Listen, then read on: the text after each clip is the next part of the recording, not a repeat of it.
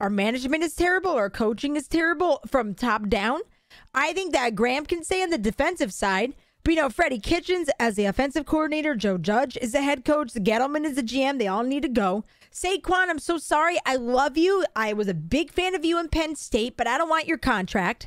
Danny Dimes, I'm sorry you were the first round pick, the sixth round or the sixth pick, but I don't like you. You're not a you're not a good quarterback. Yes, there's a bad offensive line, but the dude just fumbles too much. Um, we don't have the management, we don't have the coaching to develop a player that obviously played for Duke, who was extremely underdeveloped then, bring him into the NFL with the Giants with a really bad offensive line and limited weapons, as in Darius Slayton has been hurt, Engram's been hurt, Kenny Golladay's been hurt, Sterling Shepard, Kadarius Toney, the 19th pick, has been the only wide receiver out there.